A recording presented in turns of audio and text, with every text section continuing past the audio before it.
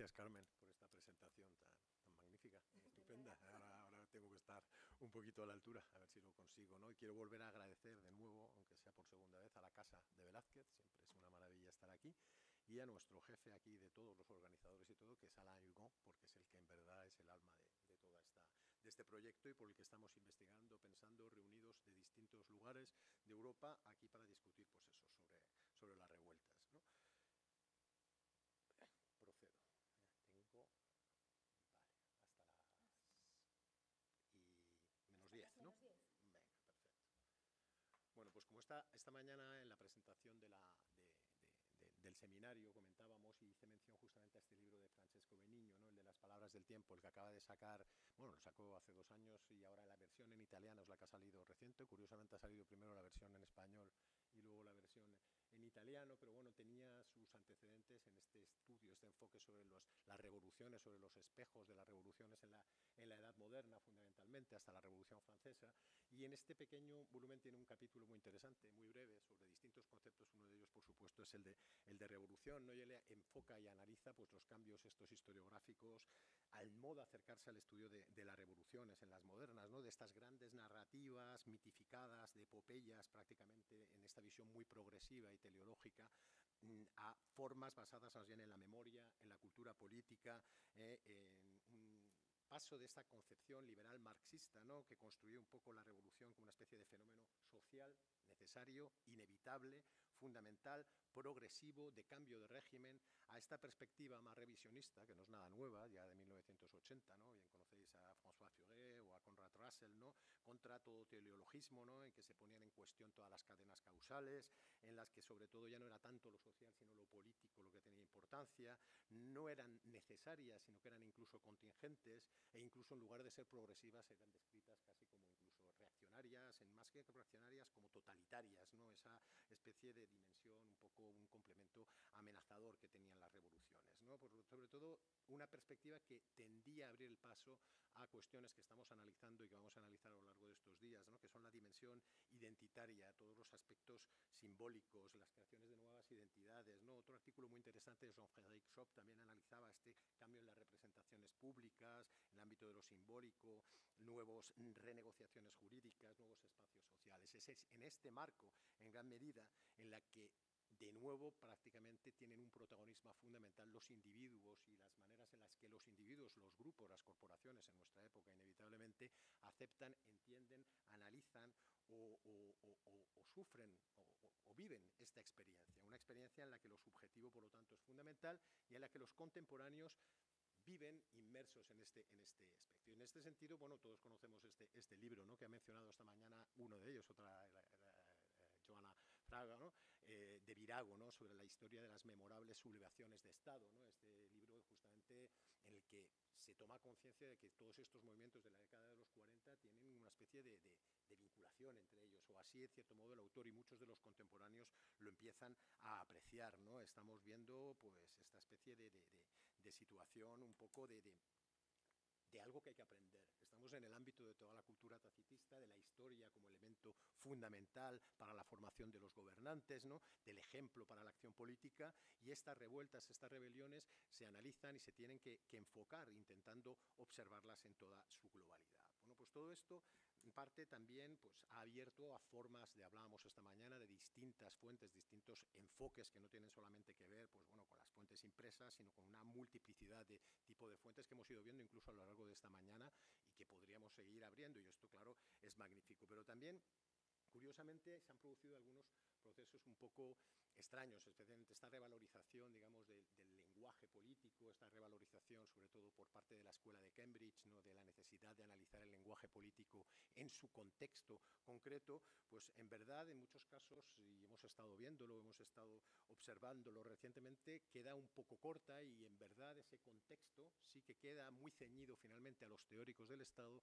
pero sería necesario un poco verlo también como estos mismos fenómenos se llevan a la práctica y cómo estas ideas, estas expresiones, estas maneras de afrontar esta realidad de inestabilidad, yo me voy a centrar especialmente en la segunda mitad del 17, pero vamos a tener un enfoque un poco más amplio, se refleja también pues, en los documentos de Estado, en los documentos en las actas capitulares, en la correspondencia particular de las personas. Es decir, cómo esto sí que es contextualizar verdaderamente. Y eso es lo que falta, porque si pensamos, por ejemplo, en, la, el análisis del concepto de Estado moderno que ha hecho en 2010 eh, Quintin Skinner, que no tenemos ni una fuente de archivo, ni una cita de archivo. Todo es, bueno, pues sí, tenemos a los de siempre, a Lipsio, a Botero, a todo. Pero, vale, muy bien contextualizado, intentándolo meter, pero falta. Es decir, ¿qué pasa? ¿Dónde está en los documentos que nosotros manejamos? ¿Cómo estas ideas se expresan? ¿Cómo lo observamos? Y en este tema y en esta cuestión, justamente el tema que a mí me, me corresponde hablar es esta revuelta de Flandes, esta revuelta holandesa, este modelo holandés va a ser un elemento crucial y va a estar presente permanentemente tiene un verdadero protagonismo, en gran medida para entender por qué ha llegado a esa situación desastrosa, cómo la monarquía ha fallado, cómo, qué es lo que hay que aprender.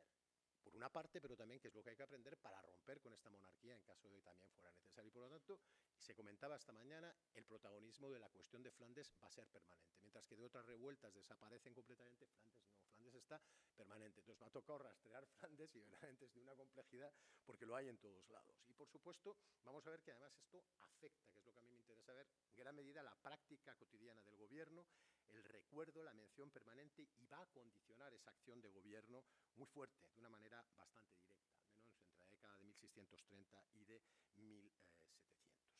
¿Por qué? Porque mm, todo esto, en parte, está condicionado también por la propia visión de la historiografía sobre el concepto de la propia monarquía hispánica, de cómo se entiende esta monarquía de los Habsburgo, que siempre se asocia a uno de los elementos clave de esta revuelta, Felipe II, hemos visto antes, ¿no? y el duque de por supuesto, pero es este absolutismo de los Habsburgo, que sigue todavía presente, ¿no? sigue permanente, aunque mire que se ha estudiado y se ha puesto en cuestión, ¿no? una especie de, de, intento, se comentaba esta mañana, de Felipe II, de intento de imponer el absolutismo dinástico, de raigambre castellana, por métodos coactivos al resto de los territorios, en un proceso de guerra permanente, y en cierto modo, pues la rebelión de Flandes vendría a ser como una especie de, de respuesta necesaria, inevitable, ¿no? especialmente esto fundamental para las historiografías nacionalistas. Hemos visto esta mañana en el caso de Portugal, lo vemos clarísimamente en el caso de la historiografía holandesa. En el caso de la historiografía holandesa, la revuelta de Flandes es el hecho fundacional, el hecho básico, porque es la expresión máxima de esta incompatibilidad imposible entre dos modelos completamente opuestos. ¿no? Pero no solamente la, historiografía holandesa, está aquí Alberto y lo sabe muy bien, por ejemplo, el, el libro de referencia que tenemos es el de Echevarría Bacigalupe, él sigue insistiendo en que Flandes es completamente antagónico como el autoritarismo tal frente a la libertad de comercio de Flandes. Es decir, esta reiteración sobre la incompatibilidad de estos dos mundos que en cierto modo presentaría esta especie de primer episodio en la lucha contra la tiranía de las grandes monarquías absolutistas, ¿no?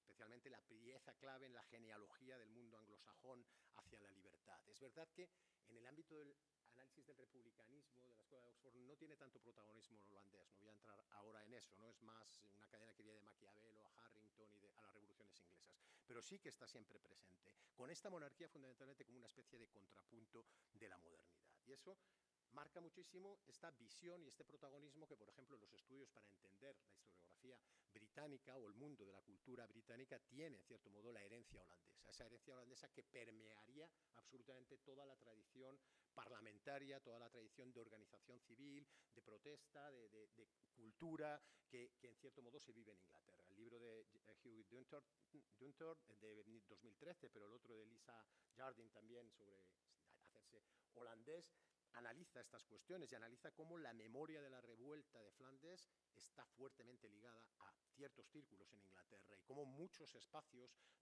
culturales, especialmente en Londres, tienen mucha más relación directa con Holanda que incluso con otros territorios de las propias islas británicas. Y a través de análisis muy interesantes, por ejemplo, hace una recopilación de panfletos e historias contemporáneas que hay en bibliotecas particulares de determinadas personas fundamentales Inglaterra. Es un libro muy interesante, especialmente el de Duntor, ¿no? Y también, por ejemplo, de la movilidad de estudiantes holandeses que se matriculaban, perdón, ingleses que se matriculaban en las universidades holandesas, no solamente en Leiden, la mayor parte, sino también en eh, Franeker, Groningen, Utrecht, ¿no? Y también de los soldados británicos, pero no solamente de los que estaban al servicio de los holandeses, sino también de los que estaban al servicio de la monarquía hispánica y ve como esa especie de influencia o de presencia fundamental. Por lo tanto, eso sí se analiza en este caso. Incluso en el caso francés, aunque, sé, aunque es verdad que normalmente a Francia se la suele asociar en esta especie de dualismo antinómico Francia-España frente a Inglaterra-Holanda, Inglaterra-Holanda parlamentarias republicanas eh, liberales, España y Francia absolutistas, tiránicas, religiosas, permanecerá no sé hasta cuántos tiempo, pero incluso en Francia, este libro que, bueno, que es conocido, de Brondin Kiel, ¿no? sobre la República y el Príncipe, ella intenta observar o analiza, y es interesante en algunos aspectos, en otros bastante maniqueo, mantiene muy fuertemente la idea de la monarquía hispánica como espacio del absolutismo tiránico, religioso, católico, inquisición y todo este rollo, pero es verdad que de todas maneras sí que asocia cosas interesantes como la importancia y el influjo tan fuerte que tiene, por ejemplo, la obra de Jean Baudin en la propia República de las Provincias no es tanto, y sobre todo en la creación de lo que ella denomina primera república de Estado frente a las repúblicas urbanas hasta este momento. ¿no? Y es una idea que luego se ve mucho mejor desarrollada desde mi punto de vista en los escritos de Thomas Meissen, en este libro es muy interesante porque Thomas analiza muy bien la aparición la existencia de un republicanismo absolutista, que es algo que nos suena muy extraño, pero que es importante asociarlo y que por lo tanto analiza, observa los vínculos de, estas, de, estas, de este tipo de culturas. Para el caso, para el caso de España, pues bueno, pues sí que, sí que existen o deberían existir también o empiezan a existir visiones o perspectivas un poco, un poco diferentes ¿no? y que van asociadas sobre todo a una manera distinta o diferente de acercarnos o de entender esta monarquía hispánica. Ese libro que yo creo que lo podéis conocer es de la red columnaria Polycentric Monarchy, que es en parte la base del proyecto actual que llevo. ¿no? Este es mi anterior proyecto que va a salir publicado ahora el libro en Fondo de Cultura Económica sobre repúblicas y republicanismo, era el proyecto anterior y en cierto modo la necesidad de entender esta, esta monarquía de una manera un poco distinta ¿no? y, matizando algunas de estas simplificaciones que además son mucho más persistentes en el ámbito de la historia económica, de la historia institucional. Ahí es que parece que ahí no hay manera de que entren a entender. ¿no? Entonces, en cierto modo, la necesidad en parte, una de las propuestas que en este libro se hacen es bueno, de entender esta monarquía como una verdadera república, de una monarquía de repúblicas urbanas en gran medida, una especie de, de agregado territorial ¿eh? Que no sería tan distinto y que además del cual las Provincias Unidas formarían parte y los estados de Flandes formarían parte de ese mundo urbano y que tendría muchísimas más vinculaciones de las que podemos creernos, en las cuales esta agregación por distintos mecanismos, por conquista, por matrimonio, de distintos territorios distintas posiciones muy, diferentes, con escalas muy diferentes, en las cuales la monarquía aseguraba, digamos, la unidad del conjunto a través especialmente de un elemento de cohesión paradójicamente basado en el respeto a la diferencia, del que hablábamos de esta manera, cultural, legislativa, lingüística, étnica, social, política, esa diversidad como factor de cohesión, ¿no? Además, espacios, territorios en ciudades en permanente contacto, en permanente negociación, pero también en permanente competencia. Hablaba esta mañana eh, Ribot, ¿no? de esa competencia brutal entre las distintas ciudades, que era un elemento fundamental. El libro reciente de Heldelbron, que tenía que haber puesto sobre ciudades de, de los Países Bajos, analiza esa competencia como un elemento de crecimiento económico, pero no deberíamos limitarlo solamente al espacio de los Países Bajos. Es una manera en la que funciona la monarquía. Sevilla, Cádiz, Milán, eh, Mesina, eh, Palermo, pues esa especie de competencia interna regulada en parte por la propia monarquía, un espacio en el que distintas corporaciones, individuos circulan, ¿eh? se promocionan también y que en cierto modo, pues en otras ocasiones no se promocionan o están en gran medida y en los cuales los mecanismos de negociación, y esta es una de las ideas cruciales en parte de nuestro proyecto, de la manera en la que lo analizamos, no van únicamente del centro hacia la periferia, lo que reforzaría esa idea de monarquía absolutista autoritaria que impone todo desde el centro, sino que existirían también otros espacios en el que la verdadera política no se haría única y exclusivamente en Madrid. Y creo que a lo largo de lo que voy a presentar hoy intentaré que, lo veamos así, ¿no? en la que en cierto modo existen espacios de comunicación muy fuerte entre distintos, de los, distintos territorios, de competencia y de comunicación entre distintos territorios de, este, de, esta, de esta, estructura, de esta estructura tan, eh, tan compleja. Todo ello, por lo tanto, ¿qué nos obliga? Obliga a entender que para estudiar, en cierto modo, lo local, en este tipo de estructuras tan transnacionales, tan desagregadas y tan complejas, necesitamos intentar verlo siempre desde un enfoque lo más global posible, en el que no podamos separar Flandes de Castilla, de Portugal, sino un poco como estamos intentando hacer hoy aquí, esta especie de, lectura global, ¿no? de, lo local de, global desde lo local o de lo local desde lo local, diferente. ¿no? Y ver justamente cómo determinados acontecimientos en un espacio impactan de una manera muy fuerte en otros espacios de ese, ese, de, ese, conglomerado tan, tan, tan complejo, ¿no? Que, por lo tanto, obligan a una reflexión de la circulación de modelos, a una reflexión del impacto de estas revueltas, del intento de ocultar estas revueltas, en otros casos, de distintos canales, en relación también con la existencia de distintos canales que articulan a esta estructura tan compleja. Hay canales de todo tipo, aristocráticos, religiosos, mercantiles, que están funcionando y que cada uno tienen además espacios muy diferentes, centros muy distintos. ¿eh? Hay redes cortesanas, pero hay redes también mercantiles desde ese espacio, desde esa perspectiva, nos gustaría verlo. ¿no? Pues justamente cómo, cómo se percibe Flandes, cómo en este mundo católico, este mundo de la monarquía hispánica se percibe la guerra de Flandes. ¿no? Y empezamos en la década de los 30, pues bueno, si hay un libro que va a marcar en cierto modo todo en el ámbito de la cultura católica, y no es que fuera uno muy cercano a, España, ¿no? el señor, el cardenal Bentivoglio, ¿no? era más bien muy cercano a Urbano VIII, había estado de, de, internuncio papal en Bruselas en la época casi de la tregua, había participado mucho incluso en, las negociaciones, es un conocedor increíble de este mundo urbano, de este mundo, de estas redes urbanas que caracterizan esta monarquía. La conoce muy bien y además incluso llega a exaltar en parte algunas de las características de las, en, otro libro, no en esta guerra de... guerras de Flandes, falta, falta la otra cara, ¿no? en lo que son eh, las relaciones de las Provincias Unidas de la década de 1629, tendrá una difusión no solamente en el ámbito católico, incluso también en el protestante, traducciones de todo tipo, pero también está, está el libro, esta especie de, de, narración de los acontecimientos desde 1555, con la abdicación del emperador, hasta 1609, va a tener un protagonismo, un protagonismo fundamental, multitud de ediciones que se multiplican muchas más, ¿no? Tenemos también en este sentido de grandes relaciones, de estos conflictos o de cómo se narra esta historia de una manera no solo oficial, son, también es eh, un erudito jesuita, ¿no? Eh, Famiano Estrada, ¿no?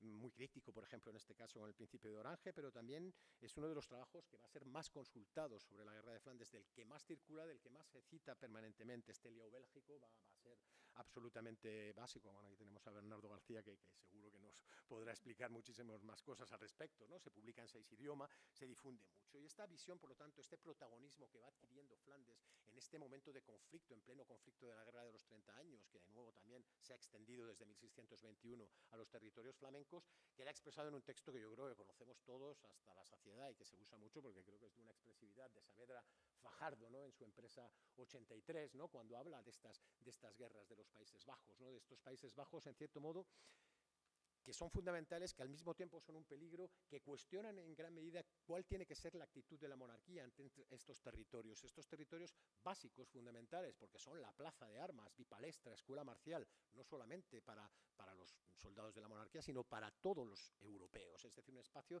de competencia europea en el que la monarquía tiene que tener presencia en gran medida, una sociedad esencialmente aristocrática, básico este elemento de la formación marcial, pero también son costosos de sustentar en provincias destempladas, esa imagen de Flandes destemplado, remoto, difícil, ¿no? Por lo tanto, que nos hace pensar si sería bueno tener que abandonarlas. Y bueno, según el discurso clásico, pues bueno, aunque la razón de Estado nos llevaría a abandonar estos territorios, dice él, finalmente la fe nos hace tener que mantenerlos y también hay que, en cierto modo, son vasallos tan antiguos, tan obedientes, son sobre todo los del sur, que son católicos, a los que no se les puede dejar. Por tanto, esta percepción que está metida es una de las ideas clave, no solamente permea en la acción de, bueno, pues de estos libros narrativos sobre la historia de Flandes, sobre la guerra de Flandes, contemporáneos a los acontecimientos, sino también incluso pues, en la, acción de embajadores. Eh, Saavedra Fajardo es un embajador, tiene unas cartas, como esto tienen cartas, también podríamos citar muchísimos textos, ¿no? Pero también en esa cultura popular. Este Flandes va a entrar de una manera fortísima en toda la cultura popular castellana. Aquí hablamos esta mañana de proverbios, Gonzalo Correas, ¿no? el vocabulario de refranes y frases proverbiales, pues aquí he puesto algunos ejemplos, ¿no? el conocidísimo España mi natura, Italia mi ventura, Flandes mi sepultura, normalmente con tono un poco negativo también, o de dificultad, o de, o de peligro, de esfuerzo, de necesidad de voluntad, la sardina de Flandes cuyendo de las llamas dio en las brasas, o todo a Flandes o todo a fondo, es decir, esta especie de reto que es Flandes, pero también de admiración en algunos casos, ¿no? esta expresión no hay más Flandes, ¿no? Suena un poco rara, pero que en verdad lo, la describe y la narra Correa, ¿no? Y dice, bueno, no hay más Flandes, nos referimos a lavar cosa galana y de placer, ¿no? O Covarrubias, ¿no? Dice, para encarecer una cosa de mucho deleite, por ser aquella tierra tan fértil y abundante y amena, y gente tan jovial y política. Se mantiene todavía, pues bueno, esa herencia de la cultura borgoñona, la receta borgoñona es la de la corte, esa herencia de, una cultura refinada. Pero bueno, como ya está el ácido de Quevedo para darle la vuelta a todo, ¿no? Y decir lo que estamos viendo ahí, los que están en alguna conversación de regocijo dije no hay más Flandes, por encarecimiento de gusto les condenamos a que sean desdichos en presencia de hermano mayor y hermandad, pues hasta ahora no hemos visto de aquellos, estado, de aquellos estados cosa de entretenimiento, sino ojos sacados, tuertos o brazos quebrados y piernas, ¿no? Esto en la cultura se usa en las tabernas, se usa la expresión de Flandes. Flandes está presente en todo, pero ¿cómo, ¿en dónde más está presente? En el teatro, ¿no? Aquí tenemos una de las personas que más sabe de teatro a mi derecha, Carmen Sanz, y este libro fantástico de Yolanda Rodríguez Pérez, primero lo publicó en holandés y ahora en una versión inglesa actualizada y renovada, en la que analiza cómo existen muchas representaciones teatrales en la que Flandes también tiene esa presencia, ¿no? 25 obras, cita ella, ¿no? Pues famosas, cito algunas, El asalto de Maestrique, Españoles en Flandes, de Lope, El señor Don Juan de Austria de Flandes, de Alonso de eh, Remón, El sitio de Breda, de Calderón, Los amotinados de Flandes, de Luis Vélez, El valiente negro en Flandes, de Andrés de Claramonte, El saco de Amberes, atribuida a Rojas Torrillas, y así podríamos decir hasta, hasta un montón. Por lo tanto, este Flandes, este Flandes, pues está en la cultura, está en la discusión, está en la gente, pero también, en cierto modo, Flandes es una amenaza y constituye una amenaza permanente para la posible existencia de la difusión de la disidencia. Y eso, en cierto modo, se va a observar, ¿no? Y existe esta especie de concepción de que Flandes puede ser, es una revuelta que como veremos en la sesión de mañana puede convertirse en un ejemplo para otras revueltas. Hemos citado esta mañana en parte en las revueltas de Aragón, ¿no? y Marañón los cita algunos de ellos, no voy a entrar o no tengo tiempo, también en la sublevación de Cataluña, ¿no? hay aquí textos que lo pondremos en el texto que no me, no me, voy a extender. Me voy a centrar un poquito más en el caso de Nápoles, que, que me interesa porque en el caso de Nápoles realmente la llegada o el impacto de, en los procesos revolucionarios del 47 y del 48 de lo que es los acontecimientos de Flandes y de la República Holandesa va a ser crucial. Ahí se ve verdaderamente el diálogo. ¿no? Alain Hugon lo analiza, por ejemplo, analiza mucho la difusión fortísima de la obra de Bentivoglio, por eso he empezado con ella entre entre la sociedad napolitana, la sociedad de élite, sobre todo los trabajos de Comparato o de Mastelone también analizan la memoria permanente de la Revolución de Flandes como una pesadilla para España entre determinadas personas, pero también, por ejemplo, la existencia de soldados veteranos de Flandes que están también en Nápoles, que están ahí presentes, que hablan, que conocen sobre el terreno lo que ocurre ahí. Esa imagen de un Flandes que circula entre distintos grupos, no solamente de burócratas o de nobles, o también de gente al servicio de la monarquía, ¿no? ese protagonismo. ¿no? Y por lo tanto, la necesidad de convertir el modelo de Flandes en algo muy presente. Y cuando a partir de octubre del 47, de 1647, los rebeldes se decantan por romper los lazos con la monarquía, pues lo que se va a tomar como modelo es la referencia de la ruptura de Holanda. Y vamos a ir a aparecer muchísimos relatos favorables a España, negativos contra España, entre los que, por ejemplo, el, de diario, el diario de Capechelatro ¿no? habla de esa comparación entre los populares y los gueux, los mendigos, ¿no? es aquellos que le presentaron en 1566 a Margarita de, de, de, Parma, o también entre Inocencio Fiudoro, también vincula directamente el manifiesto del fidelísimo pueblo de Nápoles en contra de la monarquía al acta de abjuración de 1681. Estamos hablando de transposición automática y todavía más el, el duque de Guisa, cuando llegue justamente a ejercer las funciones de protector de la República Napolitana, él va a intentar por todos los medios como el nuevo Statuder. Él hace las mismas funciones que el Statuder de Holanda. Y la imitación y el ejemplo justamente, aussi puissante et aussi considérée que celle de Hollande, elle devrait être cette république, dice, ¿no? Y hace todo un análisis muy magnífico sobre los modelos de república que hay en Europa, ¿no? La popular que hay en Suiza, la aristocrática de Venecia y la mixta de Holanda, que es el ejemplo que nosotros tenemos que seguir. De ahí, interesante percibir la propia República Holandesa como una república mixta, que tanto la vinculaba también al mundo de la monarquía hispánica. ¿eh? tan fuerte y tan vinculado como puede haber esas vinculaciones entre Inglaterra y Holanda, existen vinculaciones en el otro, en el otro aspecto. Entonces vemos incluso que cuando ya este propio duque de Guisa sea apresado ¿no? en Gaeta, ¿no? se plantearán dos posturas por parte de, de, de los mm, españoles que están reprimiendo la revuelta. El conde Doñate, que se quedará como virrey, ¿no? sustituyendo Juan José de Austria, que está en la guerra, él es partidario de, ajusticiar a Guisa. Pero por el contrario, Juan José de Austria, recordando los acontecimientos de lo que pasó con Egmont y con Hornes, dice, no nos convendría hacer eso, ¿no? porque en cierto modo podríamos hacer renacer la rebelión y eso no es conveniente. De nuevo, para tomar una decisión, el ejemplo de Flandes está presente. Cito también en el texto el de Mesina, no me da tiempo. Sí me interesa un poquito porque en el ámbito ultramarino lo tenemos un poco abandonado y, y en Flandes el Flandes indiano, y el Flandes indiano es Chile, ¿no? Y este Chile que, por supuesto, reconstruye y se, caracteriza. Hay un trabajo muy interesante de Álvaro Baraybar sobre el antecedente del concepto del Flandes indiano aplicado a las luchas justamente chilenas. Ahí tenéis un texto, no me da tiempo leerlo, leerlo vosotros, ¿no? Pero que es una especie de recuperación permanente de esta especie de, de conflicto permanente. Flandes se, hace, se, se, asocia a un conflicto permanente, pero también se asocia a valor también, a ejércitos, a formación natural, es decir, a resistencia, es decir, a osadía, a una especie de respeto con también al enemigo. Son cosas realmente también bastante interesantes que además no solamente aparecen en este libro, es de 1674, cuando aparece publicado, pero que tiene muchísimos antecedentes. El uso de la comparación para el espacio indiano, para el conflicto chileno de Flandes, también va a ser permanente.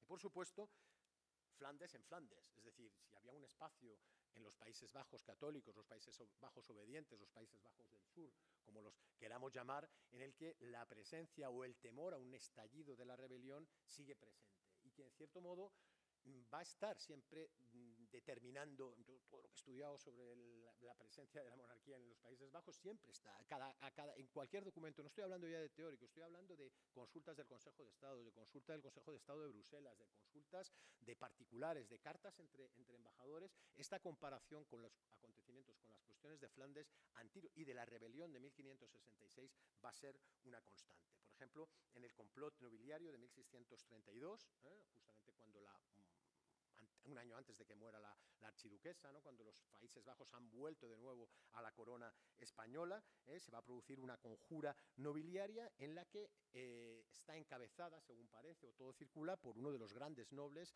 de, los Países Bajos, Philippe Charles, Prince de Arenberg y Duque de Arschot, ¿no? que sería, digamos, el que se ha acusado de conjura. Se hace todo lo posible para que vaya a Madrid y lo que se hace y dicen aquí, el arresto fue preparado por Olivares y algunos consejeros, entre los que estaba el duque de Alba, mal presagio para flamencos, según un observador, por las cabezas que quitó su abuelo en los Países Bajos. Por lo tanto, ¿qué hacen con este señor? Lo llevan, pero no hacen como con Egmont, no lo dejan volver a fluir, no, lo dejan en Madrid.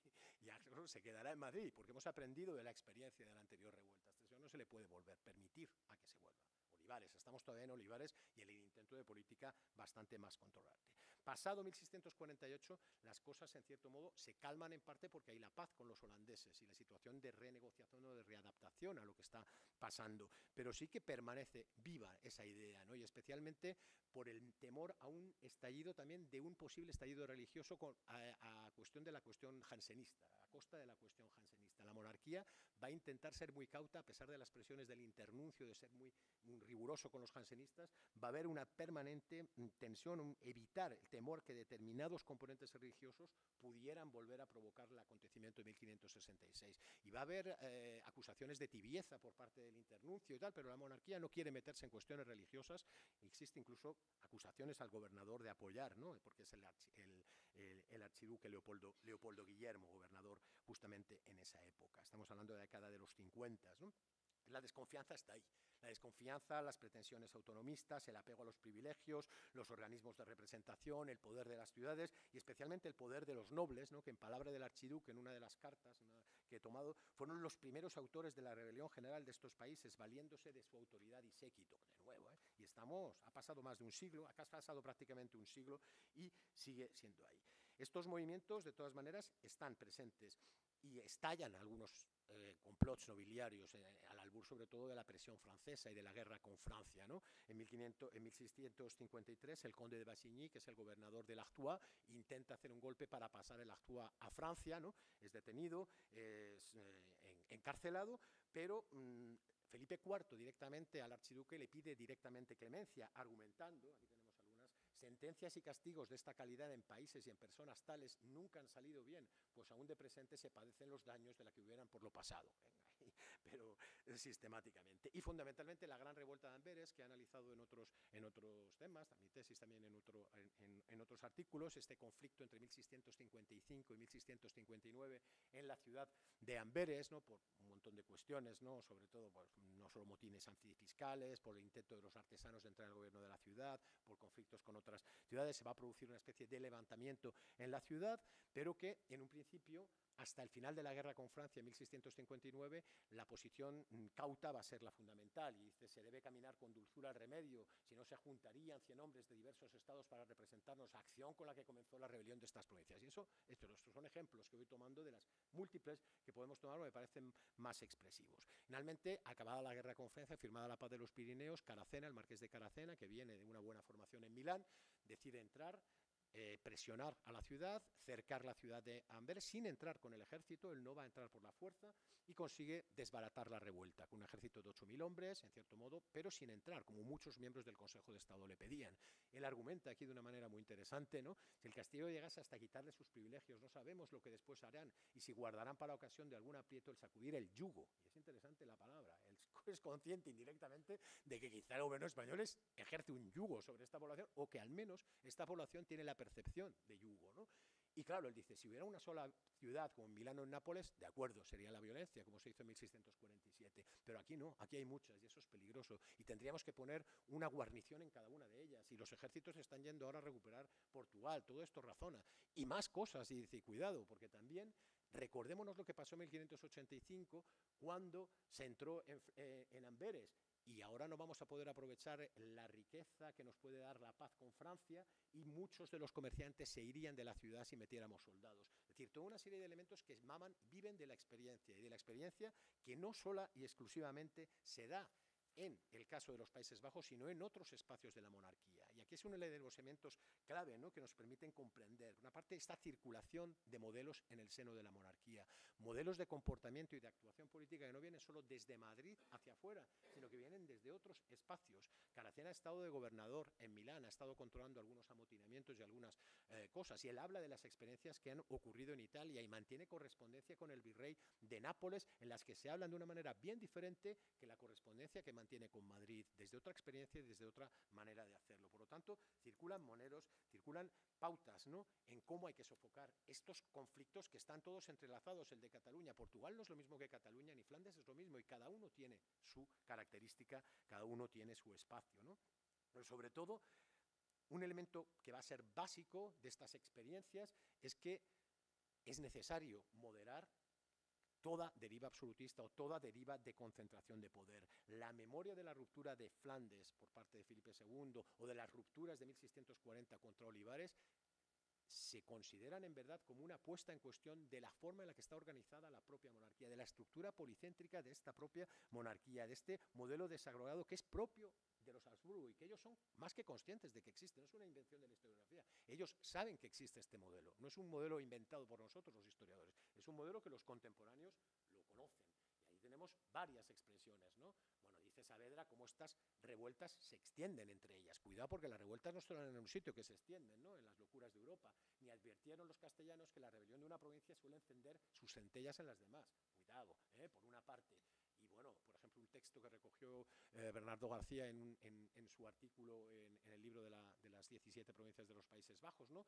justamente cuando llegan los, los archiduques en 1601, al principio del gobierno de los archiduques, uno de los grandes nobles, eh, eh, Philippe de Croix, escribe a los archiduques, solamente cito una palabra, ¿no? es decir, le déclin de notre prospérité commença avec un commandement absolu, es decir, el commandement absolu está es antagónico a la propia estructura de la monarquía.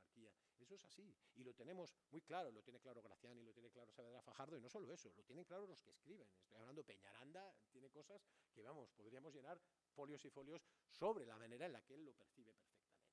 Son famosos, y pongo las de Saavedra, ¿no? Procure el príncipe acomodar sus acciones al estilo del país, el que observan sus antecesores, y cómo hay distintas culturas y a cada una se le tiene que tratar de una manera completamente diferente. Por lo tanto, esa, esa conciencia es fundamental. ¿no? vamos un poquito lento, pero bueno. en 1648, en cierto modo, como vemos, las, las, las cuestiones están cambiando. ¿no? Bueno, yo eh, quería poner un poquito, porque este es otro ejemplo de la prueba en la interiorización que tiene. En 1672 se produce la invasión francesa de los Países Bajos, ¿no?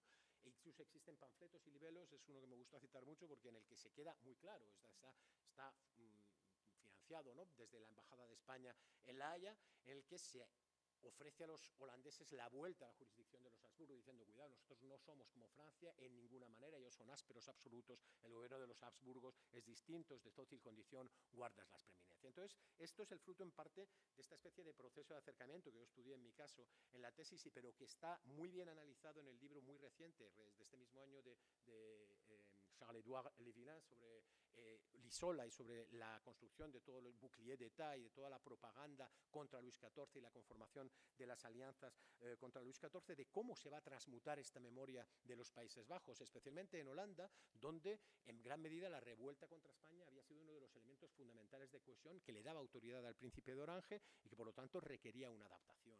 Requería una adaptación que se va a ir provocando y cómo vamos a ver cómo esta gente de ser tan enemigos, de tener presente continuamente a los españoles como referencia, van a empezar a cambiar de opinión y van a empezar a cambiar de, de enemigo. ¿no? Y cómo esta revuelta de Flandes va a transformar su función. ¿no? Lo explica de una manera muy divertida en un conflicto en las calles de Francia con el embajador francés que tiene Gamarra, el embajador en La Haya, ¿no? que dice cómo el pueblo se puso de su, lado, dice, porque hablaba flamenco, dice, y eso es muy importante. ¿no? ¿Quién hubiera jamás creído tanta mudanza, tanto, tanto apoyo en, en favor del pueblo? ¿no? Como, curiosamente, el propio Gamarra dice que en este momento el bouclier d'État de Lisola y otros escritos en contra de Luis XIV y de sus pretensiones a encontrar los Países Bajos están siendo distribuidos, dice él, nada más y nada menos que por los predicadores, estos predicadores calvinistas, que según Juan de Salazar habían sido los verdaderos culpables de la revuelta de Flandes y que ahora eran los amigos, eran los que estaban difundiendo el nombre y el apoyo a España, ¿no? Lo dice el propio Gamarra en otras cartas que no puedo, ¿no? Es decir, eh, analizar, la propia monarquía va a organizar juntas de teólogos, el padre Nitar, para explicar por qué estos holandeses son nuestros aliados, ¿no? ¿Qué nos empujan a esta gente que nos ha hecho tanto daño a de pronto tener que ser, ¿no? Bueno, pues todo un elemento. Y claro, todo esto hace que la propia monarquía empiece a aplicar ella también el deseo de expandir el modelo, digamos, de levantamiento legítimo ¿eh? contra el soberano en contra de Luis XIV. Y la monarquía y el emperador, con los holandeses, se van a convertir en los grandes patrocinadores de todo tipo de revueltas urbanas, de revueltas republicanistas en la Europa del siglo XVII, de la segunda mitad del siglo XVII. La monarquía va a ser la gran defensora del Parlamento británico durante la segunda mitad del XVII, no solamente con Cromwell, que es la primera que lo reconoce, sino también durante el final del gobierno de, de Guillermo III, el marqués de Canales está conspirando continuamente con el Parlamento en contra justamente de esto. ¿Por qué? Pero no solamente, perfecto, eh, eh, no, solamente, no solamente eso, van a financiar revueltas, y van a financiar revueltas, por ejemplo, de los protestantes eh, franceses, especialmente en Normandía, pero también, por ejemplo, de, uno que era el maestro de Spinoza, Van Dendem, un republicanista radical que intenta hacer una revuelta justamente en Normandía eh, eh, para poner una república. Y va a ser el conde de Monterrey, gobernador en Flandes, el que va a financiar directamente esto. También la revuelta de Sardó en el sur de Francia van a tomar como modelo la unión de Utrecht y dice habría que confederar las distintas provincias, como hicieron los holandeses. Es decir, ahora estamos usando la experiencia propia negativa para intentar difundir ese modelo, para cortar el comportamiento absoluto, tiránico del rey de Francia, que está coartando la libertad de los distintos pueblos y de las ciudades y de las repúblicas que conforman Europa, ¿eh? de una manera totalitaria en contra de él. Y es el argumento que va a utilizar la monarquía, utilizando su propia experiencia de una manera curiosa. Y esto que levanta la reacción de Francia. Y Francia intenta reactivar la leyenda negra, la leyenda y el recuerdo, por supuesto, de la guerra de Flandes. Y ahí está el señor eh, Saint-Réal con sus dos obras, financiada por quién? Por Colbert, lo ha demostrado muy bien Marc Fumaroli, ¿no? Él escribe un libro muy interesante, 1671, de l'usage de l'histoire, ¿no? El, señor Saint-Réal, en el que en cierto una postura es muy tacitista, cómo la historia nos enseña cómo comportarnos. ¿Qué es lo que hace? Pues difundir en pleno guerra de Holanda de que los españoles son tremendos, recordar a los holandeses que son sus verdaderos enemigos, que don Carlos está haciendo una recuperación de todo lo que es la apología de Guillermo de Orange y de que eso son nuestros enemigos y que además no solamente atacan a las repúblicas, a los gobiernos legítimos como el de Venecia Bedmar y sobre todo todos los embajadores españoles, intentando reactivar en todos los medios posibles esta especie de posición o de odio o de, o de, o de rechazo ¿no? a los holandeses. Todo esto hace que en la propia Holanda se sientan en una situación, digamos, de, ambivalencia. Y esto ha sido analizado muy interesantemente por algunos. Eh, Erika Kuiper forma parte de nuestro grupo, ¿no? Y forma parte de este grupo de la Universidad de Leiden, ¿no? Eh, sobre todo a Judith Polman, ¿no? y un libro que acaba de salir de Jasper van der Steen, muy, muy interesante, sobre justamente la memoria de las guerras en los Países Bajos y cómo se va transmutando esta apreciación, esa leyenda negra contra España, se va a ir convirtiendo paulatinamente en una leyenda contra Francia, ¿no? y cómo Felipe II se transforma en Luis XIV, lo que ya nos había explicado también en parte Shop para justamente la propia Francia española, existía esa especie de propia identificación, la revocación del edicto de Nantes, la recuperación de los conflictos religiosos, el intento de recuperación por Luis XIV de estos conflictos, se va y vamos a ir viendo que bueno, pasamos de esta misión de las crueles españoles que todavía perviven y que habían sido fundamentales en la segunda, eh, en, la, reinicio del conflicto a partir de 1621 y hasta 1648, sobre todo en la década de los 20, y durante la tregua, por todos los que se habían opuesto a la tregua, que habían vuelto a volver a presentar todos, pues, toda la leyenda negra clásica, los que más habían escrito contra los holandeses, pues toda la reedición de las grabados contra la tiranía española, pero esto vamos a ver que se va a transmutar a partir de la década del 73 en estos otros grabados ¿eh? y en estos los escritos de Quintius, en los escritos eh, de Vicefort, uno de los grandes embajadores, uno conocedor perfectamente, con grabados de Romain de Hoge, que es el que va a hacer los grabados del desembarco de Guillermo III justamente en Inglaterra, y cómo se reproduce prácticamente miméticamente pues, las escenas de Harlem, de Narden, pues ahora para Swammerdam o para uh, Bodergraven y para otros territorios de Holanda. Por lo tanto, vemos y vamos viendo cómo se va mm, mm, eh, creando y también incluso se van creando cuestiones interesantes, ¿no? Por personas como, por ejemplo, Thomas Asselin, eh, que escribe un de, la muerte de los duques de Egmont y de Horne, pero también escribe un libro muy interesante también sobre Masaniello, pero también escribe una especie de asociación y de exaltación muy interesante, especialmente de Guillermo de Orange, en la que lo asocia, Guillermo III, asocia la recuperación de la libertad holandesa a su ancestro, a Guillermo de Orange. Pero cuidado, lo interesante es que, y aquí pasamos de la memoria pública a la memoria privada, vamos a ver cómo esta memoria, y con esto voy acabando, os lo juro, en la memoria de, eh, no circula solamente para, legitimar la acción del gobierno de determinadas circunstancias, sino también de determinadas familias. Visto cómo Guillermo Dorange paga a este señor para que exalte a su familia, pero vamos a ver cómo también los señores mm, Espínola, los señores Balbases, los marqueses de los Balbases, se dedican también a financiar. Y esta historia de la guerra de Fiandra, ¿eh? que es una traducción que realiza Jacopo Celesi de un libro de Angelo Galuzzi, que sale aparecido en, la que se vuelve a narrar hasta la, hasta la tregua, está dedicada a don Filipo Espino la Colona con una apología extraordinaria sobre qué, sobre el modelo en el que el ancestro, el abuelo, eh, del que será el cuarto eh, eh, duque marqués de los Balbases, su padre en este momento, en este momento está de embajador en, en, Viena y está siendo uno de los más activos movilizadores contra Luis XIV, es un ejemplo de la negociación, de la diplomacia, del gobierno con dulzura y esa manera de asociar a su familia a una manera de gobernar la monarquía, ¿no?